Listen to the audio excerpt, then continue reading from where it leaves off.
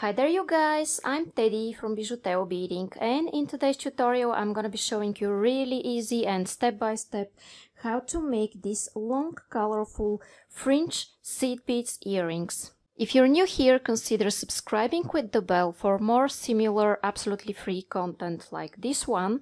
Check description for full list of materials, other useful resources and a Facebook page where you could share your beautiful designs that you did following my tutorials. I will be so happy to see them. Thank to all of you that like, share and comment.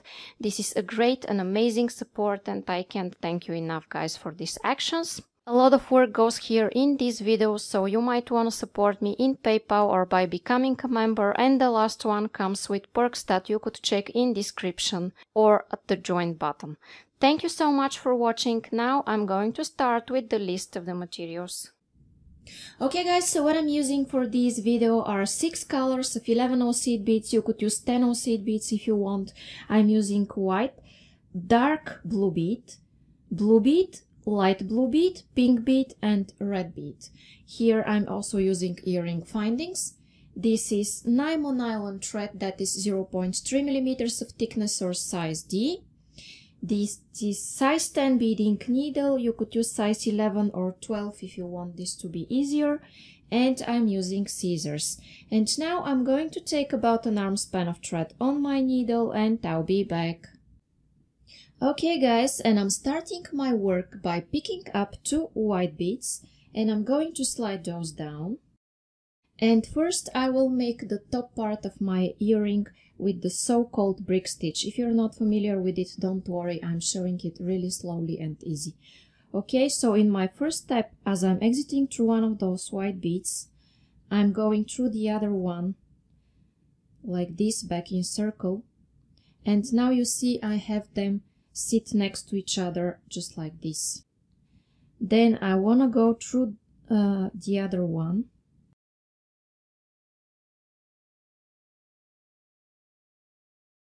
And I'm taking one white and I go back through this one as well.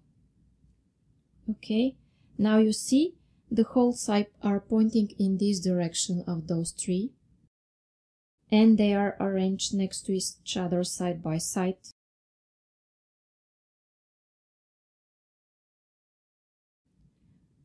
Okay, then I take one more.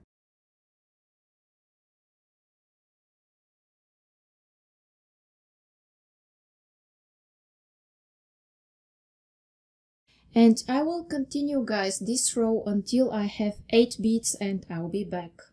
Okay guys, and I just added my 8 bead here and I'm going through it again. Okay, now I have this row of beads sitting next to each other. Okay, and now I'm going to start my next row with the so-called brick stitch. If you're not familiar with it, don't worry. I will show it easy and step by step. Take two white beads and you see these thread bridges that, that go between my beads so the holes are pointing in this direction and between them I have thread bridges. Now I want to go through the second thread bridge here that I have on my way, not through this one, but through this one, you see.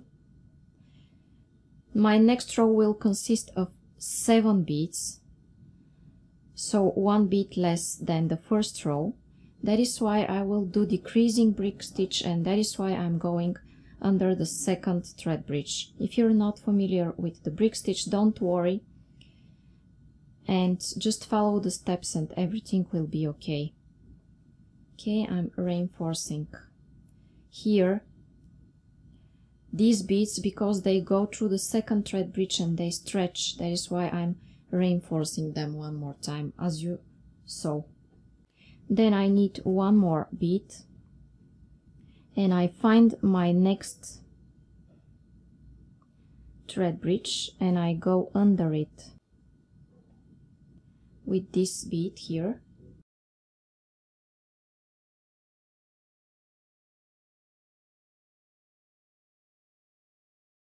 Then I take another white bead. And I go under the next thread bridge that I have on my way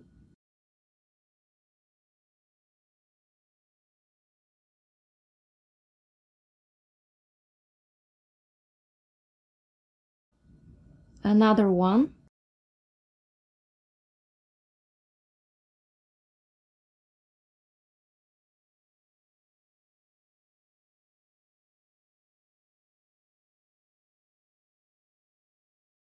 And again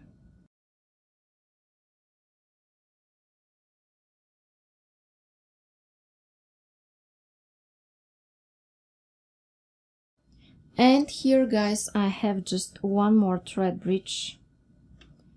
And I'm going through it like this.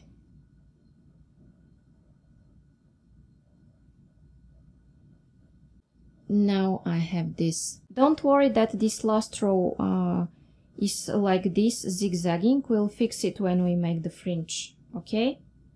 And I'm taking two beads and again I go under the second thread bridge here. You see here is the first one and I'm going through the second thread bridge. And then I go through the bead that is closer to the center of my work. And I want to reinforce. I go backwards like this. And like this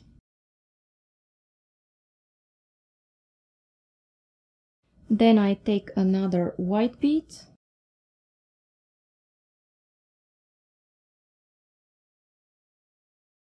going again under the next thread bridge like I showed you before and pull. I repeat this again.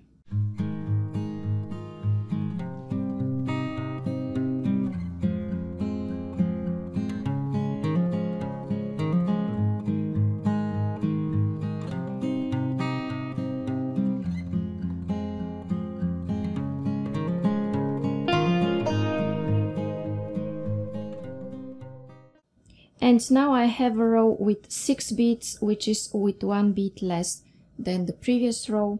Then it comes a row with 5 beads I go under the second thread bridge that I have here like I did before.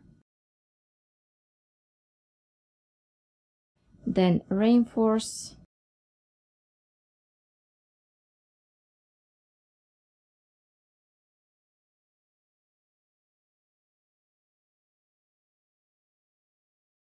and I'm going to add three more beads.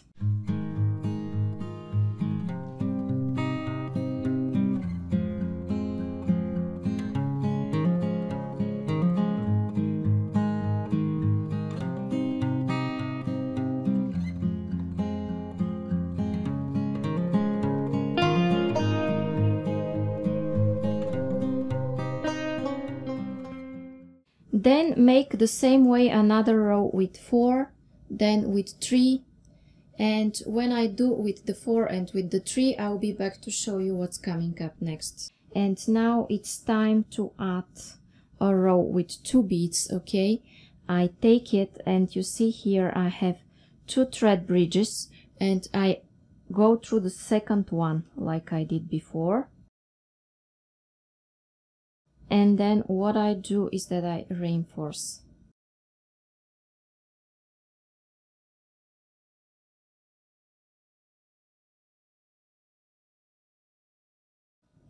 And here guys it is time to add one of my earring findings. And here it is. I take one white bead my earring finding and one white bead.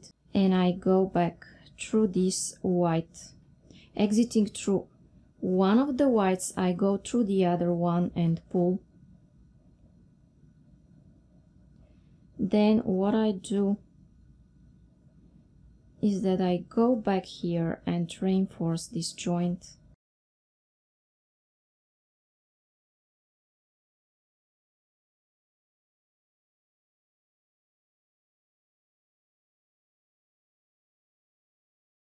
And then I go in this direction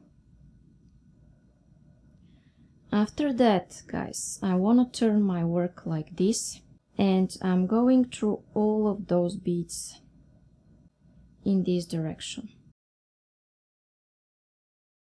Now my two beads here, my two ends of my thread here meet and what I want to do is to make a knot and I'm making it by making a loop and going twice through the loop I've made and then I pull. Okay.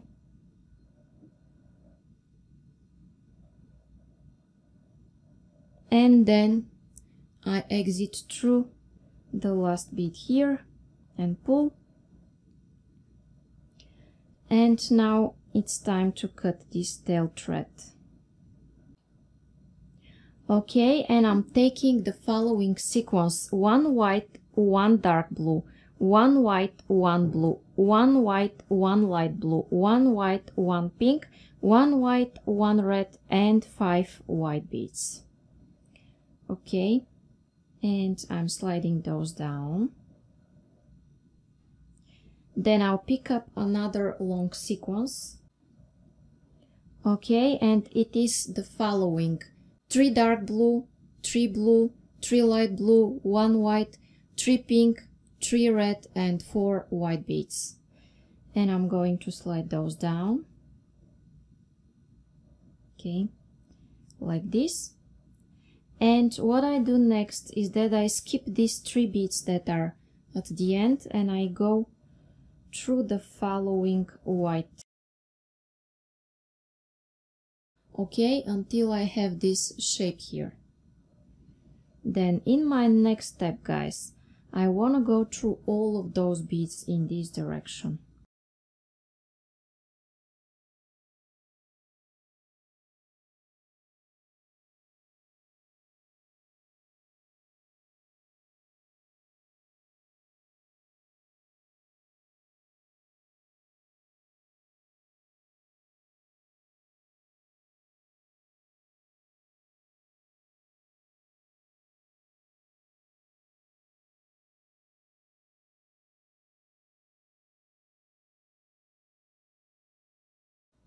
Then I go through the following white bead.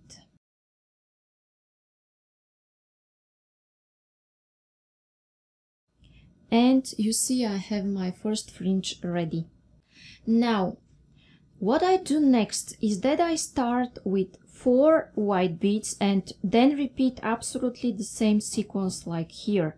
So here I started with one and now I will start with four. So I will have here three whites more than here.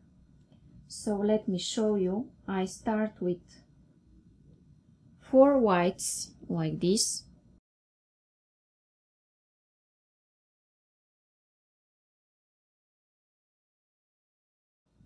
And then pick up absolutely the same sequence like this from here.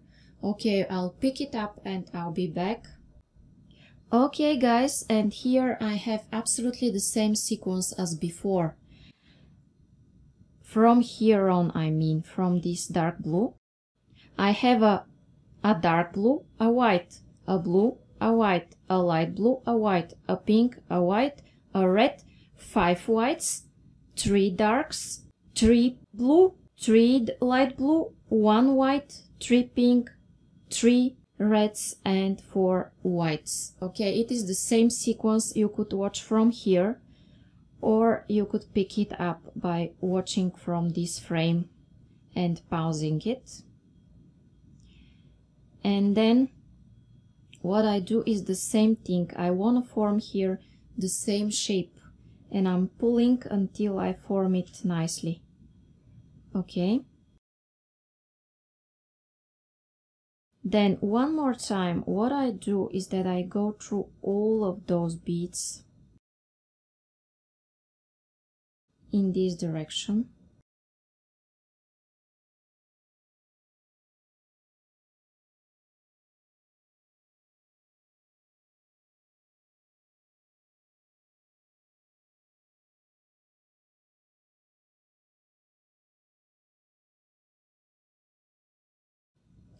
And I go here again through this bead here.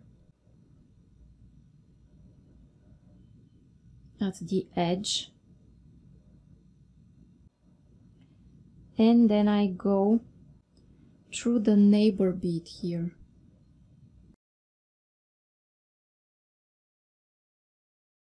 In my next step guys I'm going to take seven white beads these seven are with three more than these four that I have here. So this is the only different step in each row. Then after that I'm going to pick up absolutely the same sequence. You could watch it from here or rewind the video and add it like I showed you here in the first or in the second fringe. Okay I'll do this and I'll be back. Okay guys, and I took absolutely the same sequence like before. And again, what I do is that I go back like this. Through those four, forming this shape. And now off camera, I will go through all of those beads here in this direction. Then I will exit through the neighbor bead and I'll be back to tell you what's coming up next. And off camera guys, I went through all of those beads and I'm exiting here again. Now what I'm going to take, maybe you guess what I'm taking here next. And these are 10 beads with 3 more than in the previous step. And I'm going to slide those down. Now I will pick up the same sequence and I'll be back. Okay guys, and now I'm taking 13 white beads with 3 more than the previous row. I'm going to slide those down. Then pick up the same sequence, go back, reposition from the next and come back. Okay, and let me show you the sequence after the 13 beads. It is the same now go back here through the third white backwards and reposition here and I'll meet you. And here I am guys. I went back and I went here and now I'm going to take 16 beads with three more than the previous row, the previous fringe and I'm going to slide those down again pick up the same sequence. Go back and meet me here. And in my next step guys I'm picking up 19 beads with three more than in the previous row. Then I will repeat here the same thing that I showed you before so many times. I will exit here and I'll be back okay and here is what I have now guys. Now the familiar steps. Go back exit through the last bead here and I'll show you the last fringe in a moment. And in my last step guys I have 22 white beads. I started from one and I have 22 now. And I'm going to slide those down again then what I do is to pick up absolutely the same sequence as before and I'll be back. Okay guys, and I'm here and after the 22 I took the same sequence and now I'm going to show you how to finish your earring. It is absolutely the same way. Go backwards through the fourth white bead that you have on your way then make the familiar shape here at the end. You see like a cross. Then go in this direction. You could pull a little bit and do, the, do this.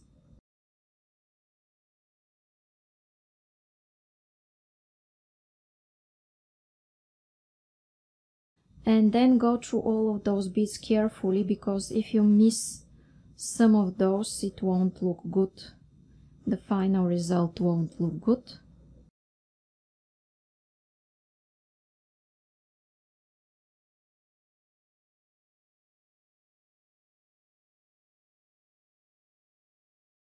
Now my earring is almost ready and what I need to do is just to make a knot somewhere here. Let's say between those two beads and how I make it.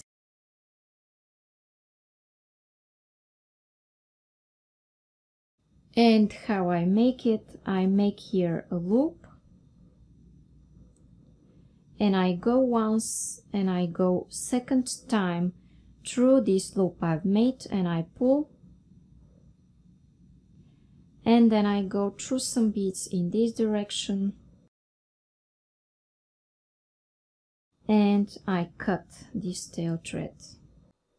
Okay guys, and now my long colorful fringe earrings are ready, so if you like them and you want to see more and more videos like this, it's a good idea to subscribe and also hit the bell button and in this way you will know when I make new tutorials similar to this one and you will be inspired often. You could also check description for full list of materials, link to all my social networks and to my Facebook page where you could share your beautiful designs that you did following my tutorials. Thank to all of you that like, share and comment. This is a great and amazing support and I can't thank you enough guys for these actions. And you might also want to support me in PayPal or by becoming a member and the last one comes with perks that you could check in description and at the join button. Now click on the video that you see on your screens and continue watching.